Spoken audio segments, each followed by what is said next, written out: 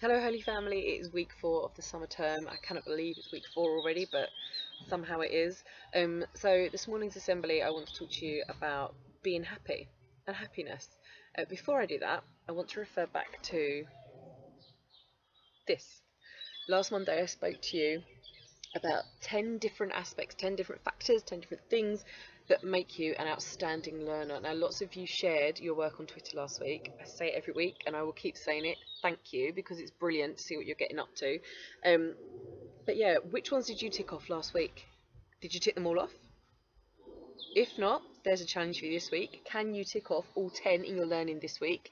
Um, yeah, or if, if you did it all last week, which one are you going to focus on this week? In which area do you think you could make an improvement? Have a think have a think and share your outstanding learning because last week we started sending home commendation certificates. So every teacher nominated children in their class and if you got one it was sent to your parents email. So well done. Keep sharing. The more you share the better it is for us because we get to see what you're up to. So happiness. Let's start. What makes you happy?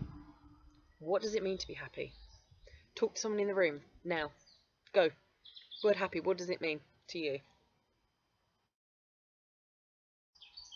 three seconds, two, one, zero. Let's come back together. Okay, so happy, can we actually define it in one particular way?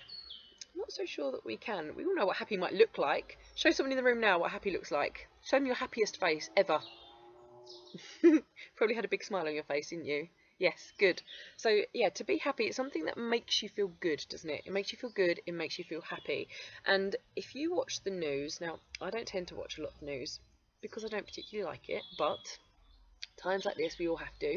Uh, if you watch the news, you may see that actually, and grown-ups might agree with me on this one, it's not always that happy especially at the minute with coronavirus and the lockdown and everything else going on, it's not always happy viewing. Or if you read a newspaper or you read something online, it's not always happy. But there is a newspaper focused on happy news and it's called the Happy Newspaper. So on my Twitter last week, I posted a link to some resources that the Happy Newspaper and Rising Stars have created, um, and it's all about being positive. So if you ask your parents, they can download that pack and you can use that this week. Of course, we're going to ask you to share it to Twitter. Um, but there's something else I want you to do this week. I would love it if everyone in our school could write a newspaper article about something happy that has happened recently. Something, have a think, have a real think, or something in your life that's made you happy. Can you write us a newspaper article? Because what I'd love to do is to print off everyone's newspaper article and to make a week four of the summer term happy newspaper for Holy Family. But I need your help. I can't do it on my own. So this week, I would love everyone to think about something that's made them happy. We could focus it on something that's made you happy during lockdown, something you've enjoyed doing, but a newspaper article. Don't forget all your key features. If you're not sure, you can contact your teacher via Twitter, um, or when they call home this week, you can have a chat with them then about it. But have a think, what newspaper article could you write? And I would love to be able to make week four, summer term, happy newspaper for Holy Family. Please keep sharing all your work. Cannot wait to see what you come up with this week. Have a brilliant week. And as always, I will see you on Friday.